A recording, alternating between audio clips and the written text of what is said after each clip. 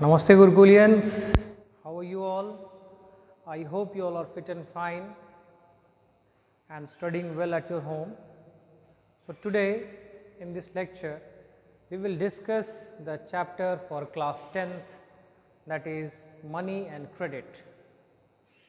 In this chapter basically we will try to understand the use of money from ancient times till modern times and how money is used as a medium of exchange. Today suppose if you want to go to a shop and you want to buy any item, you have to give money for that and instead of money you can buy any essential commodities that is required by you. But we will try to understand that how this currency came into existence. In today's time we are using currency so, was this currency used 200 years ago, 500 years ago, 1000 years ago? So, we will try to understand the history of currency plus we will try to understand the use of money in modern times. We will also understand that how money is taken in today's time. Suppose you want to start a business, you go to a bank, you apply for a loan so, the money that you take from the bank is the formal source means we will understand the source of credit in India. Udhari ka system. Basically we have two type of credit formal source and informal sources of credit. And what are the difficulties we face in taking formal source of credit, we face in taking informal source of credit, how that credit situation yeah, what are the terms of the credit when we take money from anyone, what are the terms of the credit, what is the interest rate, how is collateral being paid, what is the collateral. So, all these things we will try to understand in this chapter and from CBSE point of view this is an important chapter. So, let us first understand money as a medium of exchange. It means पैसा जो है exchange का एक माध्यम है जैसा कि मैंने आपको बताया कि आज के डेट में आपको मान लीजिए होटल में खाना खाना है आपके जेब में पाँच सौ रुपये पड़े हैं, आप किसी होटल में जाएँगे और वहाँ पर जाकर आप पाँच सौ देकर जो भी आपकी मनपसंद चीज़ें हैं, उस पैसे के अंदर आप खा सकते हैं right so this is what here it comes money as a medium of exchange means money acts as an intermediate ध्यान दीजिएगा, यहाँ पर एक वर्ड है इंटरमीडिएट इंटरमीडिएट का मतलब वो होता है कि जिसको हम हर चीज़ के लिए बीच में इस्तेमाल करते हैं। Money acts as an intermediate in the exchange process it is called medium of exchange जब किसी दो चीज़ों के बीच में पैसा बीच बिचौलिए का काम करता है तो हम उसे इंटरमीडिएट कहते हैं। A person holding money can easily exchange it for any commodity or service that he or she might want. पैसे के बदले आप कोई कमोडिटी कोई सर्विस को आप ऑप्ट कर सकते हैं। So this is the power of money in modern times right Now, let us understand the use of money as a medium of exchange. समझते हैं शुरू से। The use of money spans a very large part of everyday life. अगर हम अपने आसपास देखेंगे चारों तरफ़ तो हम देखेंगे कि बहुत सारे ट्रांजैक्शंस जो हमारे आसपास होते हैं, उसका इन्वॉल्वमेंट या उसका रिलेशन डायरेक्टली पैसे से जुड़ा हुआ होता है। क्या आप इसका एक लिस्ट बना सकते हैं? अगर आप सुबह से शाम तक अपने इन्वेस्टमेंट के या लिस्ट बनाएँगे तो आप बहुत सी चीज़ों का लिस्ट बना लेंगे। जैसे सुबह आप दुकान से दूध लेने जाते हैं तो आप पैसा लगाते हैं। आप सब्ज़ी लेने जाइएगा। आप मार्केट से कोई ग्रोसरी आइटम्स खरीद सकते हैं। You can buy clothes so all these mediums require money right so in some of this transaction services are being exchange for money for some there might not be any actual transfer of money but has to promise to pay a money letter बहुत सारे cases में आप देखते हैं कि आप दुकान गए, मान लीजिए, जैसे घर के आसपास या पड़ोस की दुकान है, वहाँ पर आप गए और दुकान वाले को आपने बोला कि भैया, ये सामान चाहिए और आप खाते में लिख लेना। तो खाते में लिख लेना is a promise for future payment ये प्रॉमिस है कि अभी मेरे पास पैसे नहीं है but as soon as I am getting the money I will pay you for that right so have you ever wondered why transaction are made in money तो क्वेश्चन है कि ट्रांजैक्शंस क्यों पैसे में किया जाता है? उसका जवाब ये है। A person holding money can easily exchange it for any commodity or service that he or she might want right so that is why transactions are made in money thus everyone prefers to receive payment in money and then exchange the money for things that they want इसीलिए आज के समय में लोग payment जो है वो money में करते हैं और उसके बदले किसी भी चीज़ को वो ऑप्ट कर सकते हैं या किसी भी सर्विसेज़ को वो ले सकते हैं right so thus everyone prefers to receive payment in money and then exchange the money for things that they want take the case of a shoe manufacturer एक जूता बनाने वाले का हम एक एग्ज़ाम्पल उठाते हैं। He wants to sell shoes in the market and buy wheat उसको अपना जूता बेचना है बाज़ार में और उसे गेहूँ खरीदनी है। The shoe manufacturer will first exchange shoes that he has produce for the money and then exchange the money for wheat या वो ये ऐसा करेगा कि शू मैन्युफैक्चरर पहले एक्सचेंज करेगा, जूता बेचेगा, पैसा लेकर आएगा, फिर उस पैसे से वो गेहूँ खरीदेगा। ठीक है? आप ये भी सोच सकते हैं कि imagine how much more difficult it would be if the shoe manufacturer had to directly exchange shoes for wheat without the use of money मान लीजिए जूता बनाने वाला ने जूता बेचा, पैसा आया, गेहूँ खरीदा।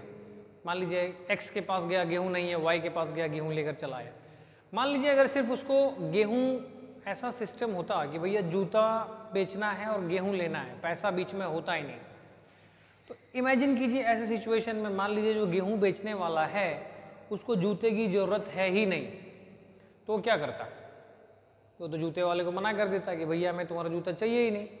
तो ये सिचुएशन कितना ज़्यादा पेनफुल होता जूते वाले के लिए भी राइट तो उसमें जब ये सिचुएशन यूज़ किया जा रहा था means when exchange of goods or commodities were there suppose if I want to buy wheat and I have shoes to sell and when exchange of goods was taking place that system was known as barter system and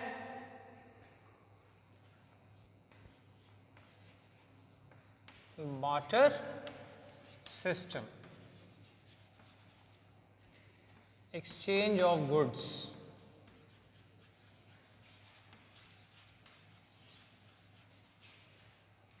We can say according to their need, but let us take exchange of goods only was known as water system. Now here we were saying ki uh, imagine how much more difficult it would be if the shoe manufacturer had to directly exchange shoes for wheat without the use of money. He would have to look for wheat growing farmer and not who not only wants to sell wheat but also wants to buy the shoes in exchange that is both the parties have to agree to sell and buy each other this is known as double coincidence of wants इस term को समझते हैं double coincidence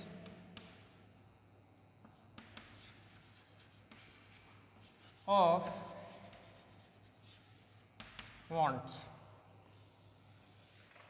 इसका मतलब ये हुआ कि एक जो जूता बनाने वाला, जूता बनाकर बाज़ार में ले जा रहा है और उसको बदले में गेहूँ चाहिए तो वो उस पर्टिकुलर गेहूँ वाले के पास जाएगा जिसको जूते की ज़रूरत है।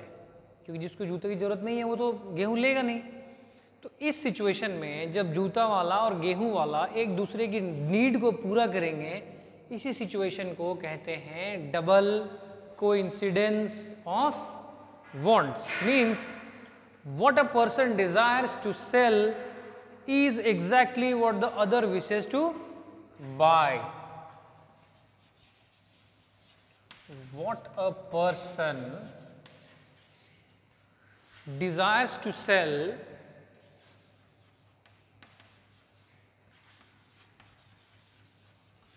exactly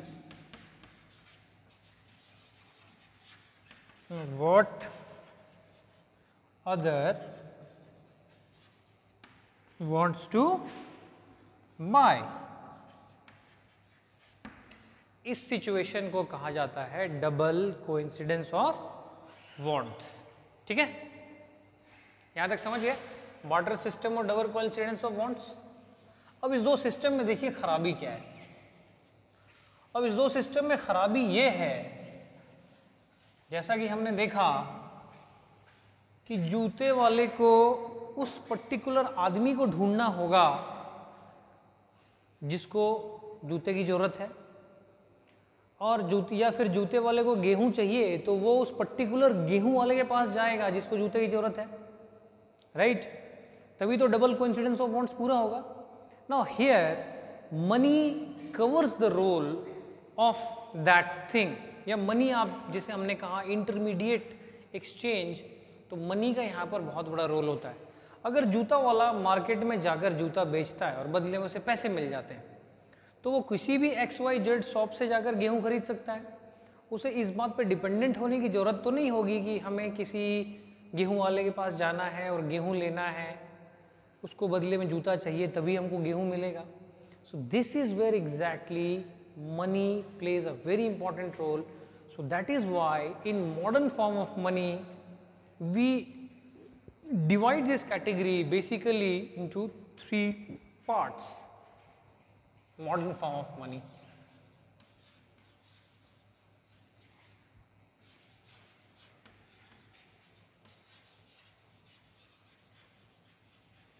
यहीं पे करेंसी या मनी का रोल आता है और आज के समय हम जो मनी का फॉर्म है, उसको तीन भाग में बांटते हैं। The very first part is currency ठीक है? दूसरा deposit with banks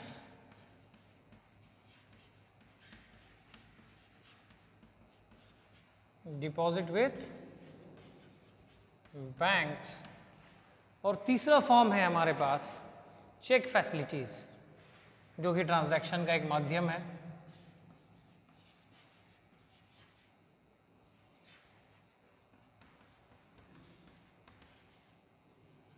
ठीक है? चेक फैसिलिटीज़ तो these all types can be termed into modern form of money. Okay. In contrast, in an economy where money is in use, money by providing the crucial intermediate step eliminates the need for double coincidence of wants. So, that is why money eliminates the need of double coincidence of wants. Need of double coincidence of wants, right. So, this is how we can say that modern form of money is the best form of money we are using today and it is a very successful way. So, now since money has come in the economy and it provides the crucial intermediate need. So, now what all that shoemaker has to do? He has to find a buyer, that shoemaker will find a buyer for his shoes and in exchange he will get money for that and what will happen from that money he can easily purchase anything from the market whatever he wants. So, this process it is known as medium of exchange and these are the ways by which we do medium of exchange from the market. So, that is why in today's time money is used as medium of exchange as it is recognized by the government of India अगर अपने देश की बात करें तो हमारे देश में क्या है कि सरकार पैसे को रिकॉग्नाइज करती है। मतलब एक स्टैंडर्ड फॉर्म करेंसी का बना हुआ है कि देश में हर जगह ये करेंसी चलेगा। और इस तरह से पैसे को लेकर हम कुछ भी कर सकते हैं। Next topic is modern form of money मैंने आपको बताया है कि मॉडर्न फॉर्म ऑफ़ मनी में सबसे पहला पार्ट है करेंसी दूसरा पार्ट है डिपॉजिट विथ बैंक और तीसरा पार्ट है चेक फैसिलिटीज़। आइए इसको वन बाय वन समझते हैं। ठीक है? यहाँ तक समझ गए आप लोग? चलिए फिर इसको रब करता हूँ। So now we have come to the topic that is modern form of money. अब तक एक बातें समझ में आ गई कि डबल कोइंसिडेंस ऑफ़ बॉन्ड्स क्या होता है बार्डर सिस्टम क्यों, क्या होता है, और क्यों डबल कोइंसिडेंस ऑफ़ बॉन्ड्स को हटा दिया गया और मनी को बीच में as a medium of exchange लाया गया right okay now we have seen that money is something that can act as a medium of exchange in transaction एक बात तो ये समझ में आ गई कि money is something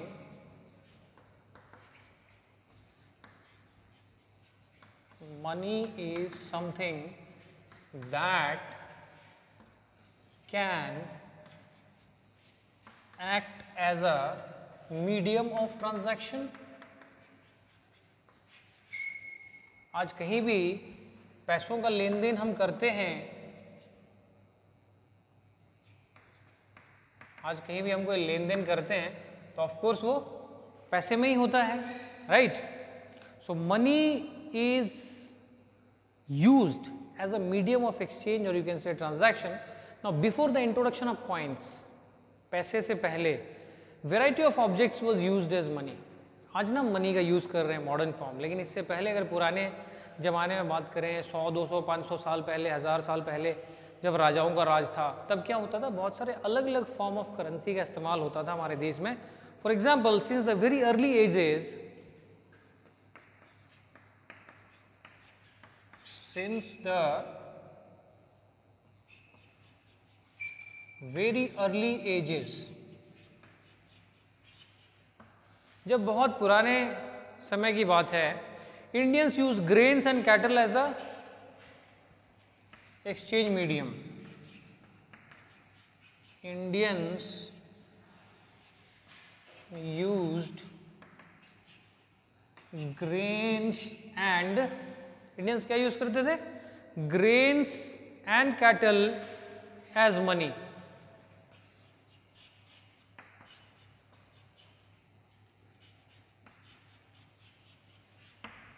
उनको कोई सामान खरीदना होता था तो या तो अपना अनाज दे देते थे, या फिर उनके पास जो जानवर होते थे, उनको वो देकर अपना काम चलाते थे। ठीक है? फिर धीरे धीरे धीरे मेटालिक कॉइन्स का यूज़ हुआ। Thereafter metallic coins were used.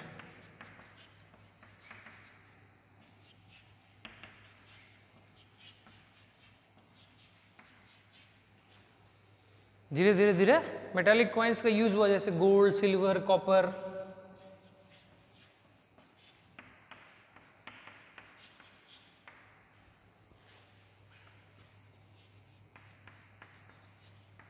Bronze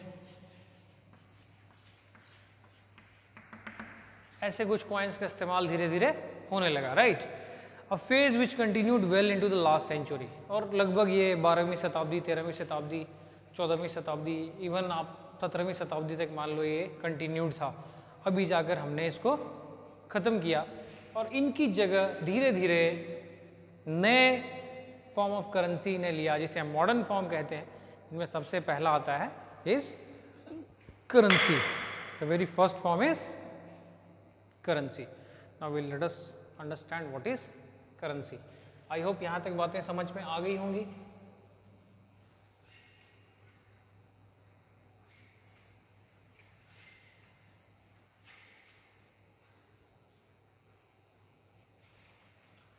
Now we'll try to understand that how currency is helpful और how currency is use as a modern form of money ठीक है? अब करेंसी के अंदर हम क्या लेते हैं? जो मॉडर्न फॉर्म ऑफ़ करेंसी है, इसके अंदर दो चीज़ आता है। पहला तो आता है पेपर नोट ठीक है? दूसरा आता है कॉइन्स सिक्के। ये करेंसी हमारा modern form so modern form of money includes currency that is paper note and coins unlike the things that were use as money earlier modern currency is not made of precious metal such as gold silver and copper पुराने जमाने में जो सिक्के होते थे, वो gold silver copper के बने होते थे। लेकिन आज यदि हम मॉडर्न फॉर्म को देखें तो इसमें दो ही पार्ट है। पेपर से बने हुए नोट होते हैं और सिक्के बने होते हैं, वो भी स्टेनलेस स्टील के या फिर हम कह सकते हैं मिक्सचर ऑफ़ अलॉयस होते हैं, ठीक है? And unlike grains and cattle they are neither of everyday use the modern currency is without any use of its own तो ये भी कह सकते हैं, भाई, कागज़ का बना हुआ है, कागज़ की क्या बिसात, क्या औकात? पहले गोल्ड सिल्वर होते थे उसकी एक वैल्यू होती थी, या फिर अनाज, या फिर कैटल उसका एक अपना इंपॉर्टेंस होता था। तो ये तो बेसिकली हमारे किसी काम का नहीं है। Then why it is accepted as a medium of exchange तो हम क्यों पेपर नोट या कॉइन को जिसकी कोई वैल्यू नहीं है, उसको हम मीडियम ऑफ़ एक्सचेंज में घोषित यूज़ करते हैं? तो यहाँ पर इसका जवाब यह है it is accepted as a medium of exchange because the currency is authorise by government of the country ठीक है? Currency it is accepted as medium of exchange because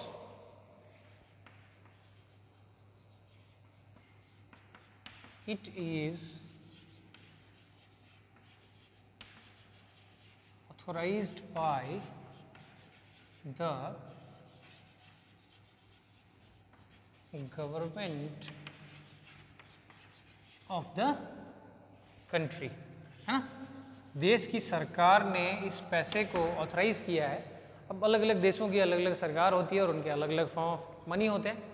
So that is why it is authorise by government हमारे India में in India Reserve Bank of India अगर हम India की बात करें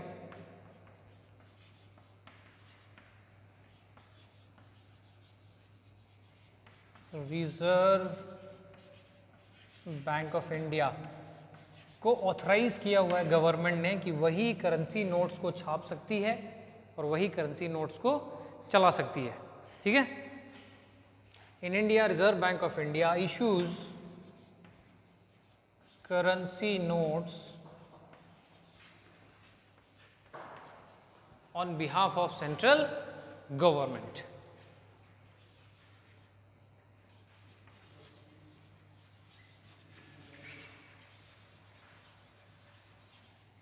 on behalf of central government right so, this is how this modern form of currency is accepted as a medium of exchange in the country. Now, as per Indian law, no other individual or organization is allowed to issue currency notes. Reserve Bank of India के अलावा कोई भी organisation authorise नहीं है Currency notes को छापने के लिए, ठीक है? Moreover the law legalises the use of rupee as a medium of payment and cannot be refuse so this currency which is issued in the form of paper note and coins authorise by Reserve Bank of India by the permission of central government the law says that nobody can deny payment आप मान लीजिए किसी ढाबे पे खाने गए आप Indian currency का 500 निकाल के दीजिएगा, वो बोलेगा, नहीं भैया, मुझे डॉलर में पैसे दो। तो आप उसके ऊपर केस कर सकते हैं, क्योंकि अगर वो इंडिया के अंदर है और इंडियन करेंसी को एक्सेप्ट नहीं कर रहा है तो लीगली वो डिफॉल्टर है। ठीक है? So that is why moreover the law legalises that payment the use of rupee as a medium of payment can not be refuse in settling transaction in India India में जो भी transaction होंगे वो Indian currency में आप चाहें तो settle कर सकते हैं।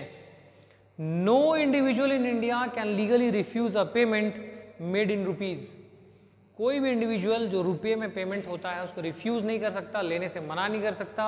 Hence rupee is widely accepted as a medium of exchange तो यहाँ पर कई कई बार क्वेश्चन भी पूछा जाता है, जो मैंने अभी आपको बताया that why